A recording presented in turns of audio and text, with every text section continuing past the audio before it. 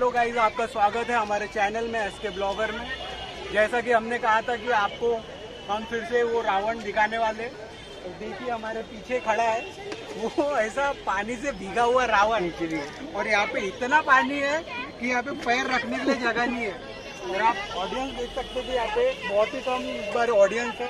बहुत ही कम वातावरण के साथ इस बार मनाया जा रहा है। और इस समय अभी बैंड पतक लगने वाले हमारे पीछे में। वीआईपी चेयर भाऊ पूरी सजी है ढकी है। चेयर पे बिल्कुल पानी लगा हुआ है कोई मतलब नहीं है।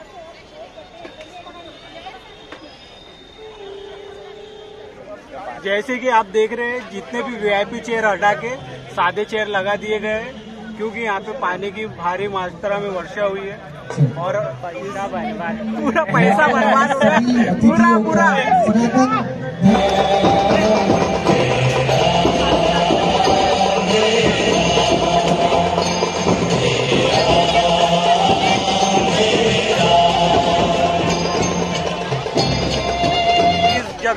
डेकोरेशन है, वो बाबा डेकोरेशन है।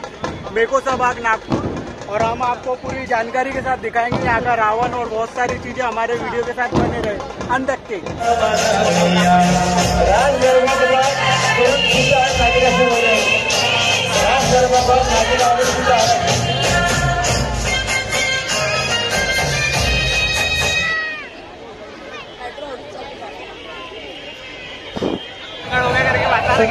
आप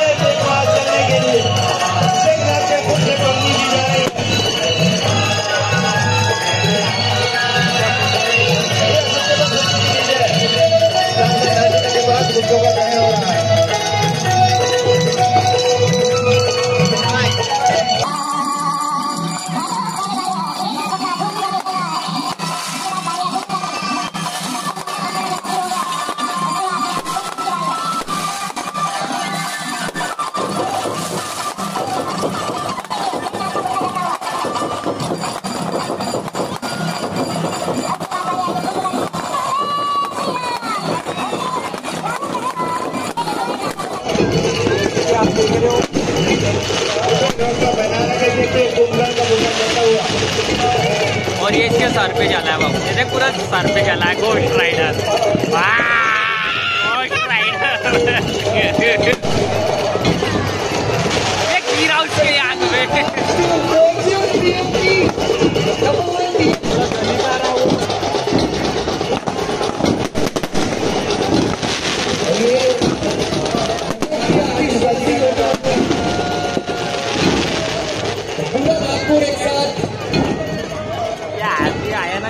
बेकार होगा काम।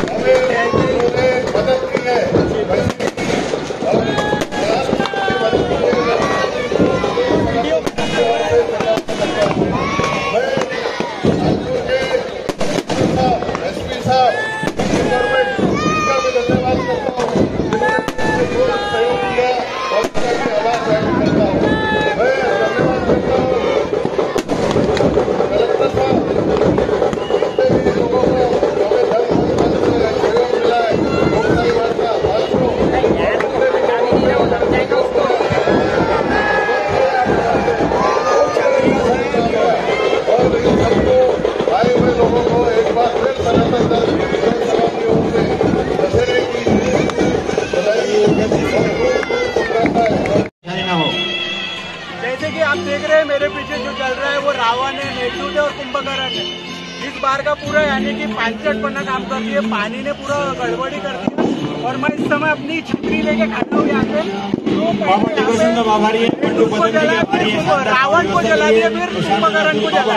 और मैं दिखाना चाहता हूँ की वैसे के वैसे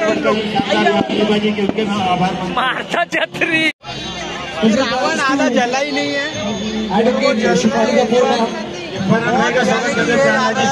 बहुत शुक्रिया सर। बहुत कीचड़ है कीचड़ कीचड़ है। और मुझे बेहद खुशी थी। चालू बारिश के कारण आप देख रहे कि पूरे राम लक्ष्मण भीग गए और इन लोगों ने अपनी पूरी रामलीला वापस लेके चले गए। देखिए यहाँ पे किस तरीके से भीग रहे हैं। इतना ज़ोर से पानी आ रहा है यहाँ पे। सबके सब बैंड पतक ये सब भीग चुके बादल बादल बादल।